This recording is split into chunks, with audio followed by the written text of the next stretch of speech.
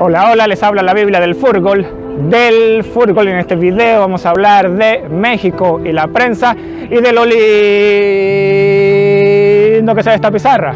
Como siempre les recuerdo que voy acá sin pauta, sin edición, sin teleprompter, grabando todo desde mi celular y hablo así un poco lento para poder continuar sin hacer largas pausas o quedarme en blanco. Entonces estamos acá en Rusia, ¿ok? Donde va a ser la Copa Confederaciones y vamos a analizar el siguiente equipo, que en este caso sería México. Estamos enfrente del Hermitage. El Hermitage es un museo ruso muy famoso que se encuentra en la ciudad de San Petersburgo, la misma ciudad donde será el partido inaugural de este torneo. Y es uno de los cinco, es considerado uno de los cinco mejores museos del mundo, aunque para mí es el mejor. Ok, también tenemos acá, estamos en la calle, eh, tenemos una música de fondo, pero uh, vamos a sacar este video adelante. Entonces ustedes no me van a ver por problemas de uh, equipamiento que esperamos solucionar pronto. Pero vamos a seguir adelante con la explicación. Entonces, ¿por qué digo México y la prensa? Ya, México tiene el mismo problema que tiene a Inglaterra. Ellos tienen un equipo que es bueno, pero la prensa siempre infla este equipo.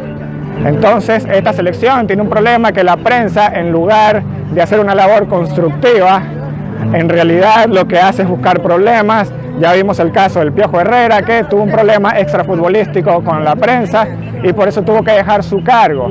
También a la prensa crea siempre muchas confusiones, eh, que en lugar de ayudar al equipo mexicano lo que hace es perjudicarlo. Entonces vamos a hablar un poco de eso. Vamos a comenzar con los arqueros. ¿Ya? Este es un enredo de la prensa mexicana que ya se está solucionando. Ya, entonces ellos tienen tres arqueros que son muy buenos. Ya, aunque en esta oportunidad para esta copa me parece que uh, solo convocaron a dos de estos arqueros de los tres que estaban en la discusión. ¿Ok? Que son el arquero Talavera, Memo Ochoa, que fue el arquero del Mundial de Brasil 2014, y el arquero uh, Corona. ¿Ok? Recuerden que está Corona el arquero y que está Corona el delantero, ¿ok? No confundirse. En este caso, para esta convocatoria, no llevaron a Corona, llevaron a otro arquero, pero vamos a analizar un poco la diferencia entre estos tres. ¿Ok? La prensa mexicana se enfocó en decir que estos tres arqueros, a quién era el mejor, básicamente pretendiendo poner a ellos tres en el mismo nivel, lo cual no es correcto. Lo correcto hubiese sido para la prensa mexicana enfocar esta situación de manera diferente. El problema realmente es que estos tres arqueros, quizás la pregunta para México pudiese ser, ¿será bueno o no que tengamos, en el caso de los mexicanos, que tengamos tres arqueros que jueguen a muy parecido, porque tienen un estilo muy parecido, juegan los tres igual, no como en el caso de Chile, okay, que está Claudio Bravo, y que juega con, tiene un estilo de juego y está a Toselli y está Johnny Herrera que tienen un estilo de juego diferente. ¿Ok? En el caso de México ellos tienen tres arqueros que juegan muy parecido. Entonces quizás por allí la prensa mexicana, a juicio de nosotros acá en este canal, hicieron un mal enfoque. Entonces vamos a hablar de las características de estos tres arqueros. ¿Ok? Tenemos al, a, al Memo Ochoa, Talavera y Corona, básicamente sus mejores características es que se estiran muy bien los tres, salen si es necesario los tres, tienen excelentes reflejos los tres, ¿ok? Y uh, la única diferencia, a simple vista, digamos, no hay ninguna diferencia, pero an analizando a fondo la diferencia entre estos tres arqueros y la razón por la que el técnico sigue colocando al Memo Ochoa es porque de los tres arqueros, el Memo Ochoa es el arquero que da menos corners. Ok, si bien Memo Ochoa fue el arquero del 7-0, básicamente él fue víctima de un problema de la dirección técnica que hizo rotación de los jugadores y rotación de la defensa. Hubiese dado prácticamente lo mismo si hubiese estado cualquiera de los otros dos porteros. ¿Ok? Pero la única diferencia es que el Memo Ochoa es el arquero que da menos corners, luego viene Talavera, que da algunos corners y luego viene Corona que da muchos corners. Ok, entonces básicamente la discusión de la prensa mexicana se debió haber enfocado por ese lado. Ok, no me queda claro si lo hacen por una cuestión de marketing, ok, para quizás vender, para que uh, vean sus canales o, sus presentaciones. Pero en realidad la discusión constructiva hubiese sido, sí, ¿qué conviene más? Un arquero que, es, que, dé, que dé corners o un arquero que sea... Uh, que dé más rebote, ¿ok? Pero básicamente el mejor arquero de los tres es el Memo Ochoa, luego Talavera y luego está Corona que ni siquiera fue considerado para esta convocatoria de Rusia 2017. Ya entonces tenemos allí al arquero Memo Ochoa que seguramente será el titular para esta, esta competición. Entonces por acá tenemos a la defensa, ellos básicamente se paran así, ¿ok? Un poco parecido con un 4-3-3, un poco parecido a lo que hace la selección chilena. Y por acá vamos a empezar a hablar un poco de los jugadores y de su sistema de juego. Entonces tenemos a, a Paul Aguilar, ok, es un jugador que le gusta subir mucho, pero lo hace sin pelota. Ok, esta es una característica muy particular de él. No es el típico lateral, no es el típico lateral, no es que sube con la pelota, él va a subir sin pelota y de los últimos, el último cuarto de cancha es donde él va a empezar a colaborar con el equipo. Ya también tiene muy buen centro. Esto lo vamos a explicar uh, más adelante. El sistema de juego que ellos utilizan, donde el centro es algo muy uh, relevante para ellos. ¿Ok? Luego tenemos a Diego Reyes. Diego Reyes es uno de los centrales, básicamente su mejor cualidad es que tiene buena entrada por atrás, ok, y tiene muy buenos reflejos a la hora de bloquear y defender. A Paula Aguilar también tiene a pelotazo, ok, tiene pelotazo desde atrás, así como tiene centro, ok, también tiene pelotazo porque podemos asumir que si tiene centro, tiene buen pelotazo, no siempre, pero es el caso de él, tiene buen pelotazo. Ya, luego tenemos a Héctor Moreno. Héctor Moreno tiene buen juego aéreo, ¿ok? Y tiene muy, bien, muy buen rechace en salida. ¿Eso qué significa? Eso significa que sus rechaces, ¿ok? No van a ser pelotazos a cualquier lugar, sino que sus rechaces siempre van a ser buscando un compañero para sumarse de una vez al ataque. Entonces un central que te puede originar un contragolpe en cualquier momento o un pase con ventaja donde cualquier jugador rival puede quedar descolgado. Sigamos. Sigamos con la Jun. La Jun no es un jugador, digamos, yo diría que es uno de los puntos débiles de este equipo, pero es muy bueno técnicamente. Él utiliza las dos piernas ¿ok? Es un lateral, es alto y uh, tiene una buena pegada, tiene una buena carrera, perdón, tiene buena carrera hacia adelante, donde él aprovecha muy bien los espacios, donde él va a aprovechar siempre los espacios, y es un jugador que en la defensa no lo hace muy uh, frecuentemente, pero sí es un jugador semiacrobático en el punto de vista no, no, sé si muy positivo, pero no sé si le tendrá uh, un poco de miedo a la pelota. Pero es un jugador semiacrobático que, a pesar de que trata de bloquear el balón, muchas veces no me queda claro si él trata de uh, protegerse a sí mismo. Aún así, uh, yo lo considero un jugador semiacrobático y realmente algunas veces sí lo puede hacer muy bien tratando de bloquear alguna jugada. Ya por acá tenemos al Rafa Márquez. Ya, pero Rafa Márquez está lesionado para esta competición. Básicamente, el Rafa Márquez es un mediocampista defensivo con salida, pero uh, para esta competición va a jugar Jesús Molina. Ok, básicamente la gran cualidad de Jesús Molina es su cabezazo, ya su juego aéreo. Básicamente por eso me imagino y no sé qué otras alternativas tendrá México. También puede jugar Diego Reyes de 5 quizás. en esa posición, pero me parece que Jesús Molina es el que lo va a tomar. Él básicamente tiene buen cabezazo y tiene gol. Ya también es muy importante, esa, esa sería la razón definitiva por la que él pudiese apoderarse de esa posición ante la ausencia de Rafa Márquez, es porque él tiene, muy, él tiene gol. Ya el único problema de este jugador, que ocurre en algunas selecciones, ya lo sabemos, es que el jugador uh, es mejor por su club que por la selección. Ok, este jugador Jesús Molina juega mucho mejor por el club que por la selección, aunque digamos que en la selección no ha tenido mucha oportunidad porque esa posición uh, la tiene el Rafa Márquez.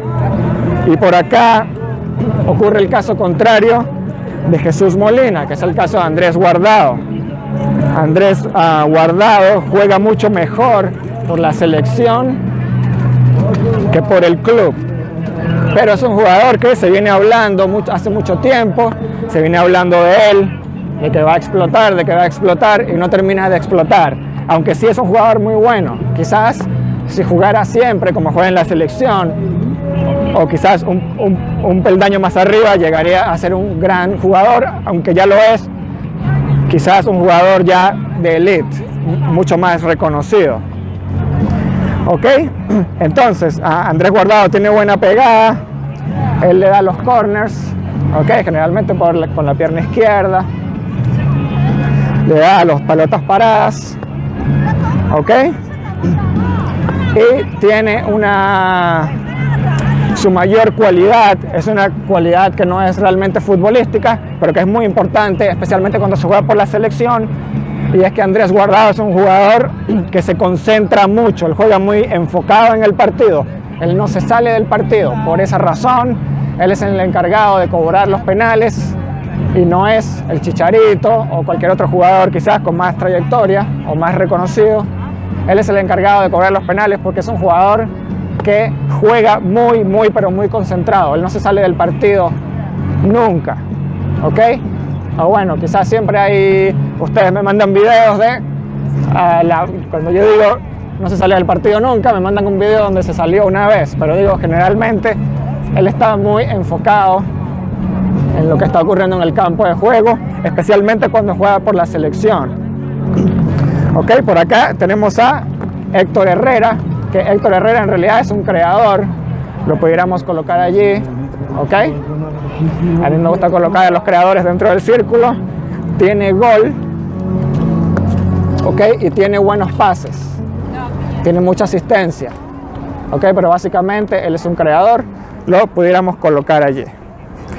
Luego tenemos a Lozano, ¿ok? El Chucky, que básicamente uh, tiene diagonal. Ya es un jugador moderadamente, digamos que rápido, aunque el jugador más rápido de este equipo está por acá abajo. Su posición original es acá, pero acá juega el Tecatito Corona. Entonces, y él es muy bueno. Entonces, por esa razón, él lo colocan allí. Y básicamente, él lo que tiene es la diagonal y su deficiencia, la deficiencia de este jugador, el Chucky, son sus pases. ¿Ok? Comete muchos errores forzados, no forzados uh, cuando se trata de pasar el balón o asistir a otro jugador. Luego tenemos acá al Tecatito Corona, como lo mencioné, el otro Corona, no el arquero, aunque el otro arquero no lo vamos a ver en esta competición porque no fue convocado. Y tenemos acá Jesús Corona, que básicamente tiene mucho dribbling y es un jugador extremadamente rápido. ¿Ok? Este fue uno de los problemas de México cuando el partido del 7-0, porque la única oportunidad de peligro que generó México durante ese partido vino por medio de Corona.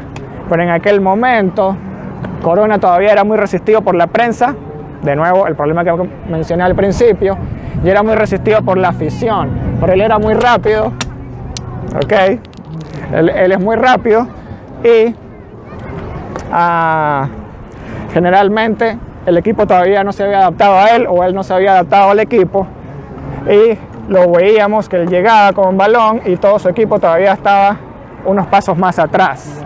¿ok? Porque todavía no sabían, él no se había ajustado al equipo de juego o el sistema no se había hecho un poco teniéndolo en cuenta a él. Ya, pero es un jugador extremadamente rápido, extremadamente habilidoso y puede ocasionar mucho peligro por él solo. Además, tiene muy buena pegada al gol. Muy, muy buena pegada al gol. Así que él solo te puede cambiar un partido o resolver un partido. Y por acá tenemos al Chicharito Hernández, okay, que ya todos lo conocen. El Chicharito Hernández tiene muy buen juego aéreo, que es una de las debilidades de Chile, pero habrá que esperar a ver si México pasa la ronda y ver con qué ah, equipo se enfrenta. Okay, tiene muy buen olfato goleador y muy buena ubicación, el Chicharito Hernández. Ya, y una de sus cualidades es que tiene una ah, pegada muy particular, ¿ok? Él tiene una, pegada muy particular, una forma muy particular de pegarle y esa es la razón por la que él ha llegado muy lejos, porque es muy difícil de predecir hacia qué lado ah, él va a golpear el balón y es un efecto medio extraño. Ya, entonces, ¿cuál es el mejor jugador de este equipo? Yo diría que el mejor jugador de este equipo, a pesar de que puede ser el, en México hay un el debate básicamente está entre Guardado y el Chicharito. Para mí el mejor jugador de este equipo es el Tecatito. ¿okay? Yo creo que este jugador puede llegar muy lejos, aunque quizás le falta madurez. ¿Ya? Pero Hernández siempre es peligroso y Guardado siempre juega muy concentrado en el equipo. ¿Ok? En, el partido. Y el Memo Ochoa. Entonces, Memo Ochoa, Guardado, Chicharito y el Tecatito serían los cuatro jugadores más importantes de este equipo. Ahora, ¿cómo juega este equipo? Este equipo juega mucho tipo embudo. ¿Ok? No nos hace acordar a Peckerman porque ellos sí utilizan todos los lados de la cancha. ¿Ok? Pero generalmente ellos van a enfocar su... Ah, ellos van a enfocar su ataque tipo embudo como que ellos van a ir para acá. Ok, muchas veces esto puede ser contraproducente porque no sé si lo hacen ya por la práctica de que ellos llegan acá, ya aún teniendo espacio para aprovechar, ellos tratan de una vez de ir al arco. Ok, esto puede ocurrir también quizás porque ellos están acostumbrados a jugar equipos contra equipos de la CONCACAF, donde quizás no es necesario aprovechar espacios vacíos, pero cuando ah, estás enfrentando a rivales ya más poderosos, quizás sería bueno aprovechar esos espacios, ya aunque como mencioné, ellos no son estilo Peckerman que definitivamente ignoran esas áreas, no, ellos sí las utilizan. Ok, tienen una forma muy particular de juego donde ellos cambian de lado, ok, hay mucho viento, ellos cambian de lado la pelota, acá atrás en la defensa, en el segundo o en el primer cuarto de cancha, por acá digamos, ok, ellos les gusta cambiar mucho de lado el juego. En el medio campo no lo hacen. Básicamente no lo hacen. Pero lo hacen mucho acá. ¿Ok? Ellos acá hacen mucho el centro para el chicharito. Pero ellos hacen siempre el centro a más altura de lo que deberían. De modo de que si el chicharito no lo puede cabecear, el balón queda pasado para otro jugador mexicano que va a venir por acá. Ok, esto es un sello de ellos y muchas veces esta jugada puede parecer un error, ok, pero es tan repetitiva que ah, nos hace pensar que esto es algo que ellos lo hacen así, ok, si el salto del chicharito no puede llegar a cabecear el balón, no importa, siempre va a haber otro jugador que va a llegar, la va a centrar de nuevo y esto puede suceder repetidas veces durante un encuentro. Ya cuál es el punto débil de este equipo, ya lo mencioné, este lado por acá, donde está la Jun, y ellos tienen unos puntos muertos acá, ¿ok? Donde estoy colocando estos puntos, estos dos puntos, ¿ok? Estos dos círculos ah, rellenos, ese es el área, esos son los lugares donde se tiene que empezar a generar el fútbol y no tanto desde el medio, ¿ok? Sino tratar de llegar a esos puntos y desde allí comenzar a tocar y ese es el punto donde ellos ah, cometen muchos errores y dejan espacios. ¿Ok? Entonces, ah, esto ha sido todo por este video. Si les gustó, le pueden dar a like, ah, lo pueden compartir y no olviden suscribirse, así no se pierde mi próximo video. Se despide de ustedes la Biblia del fútbol, del fútbol.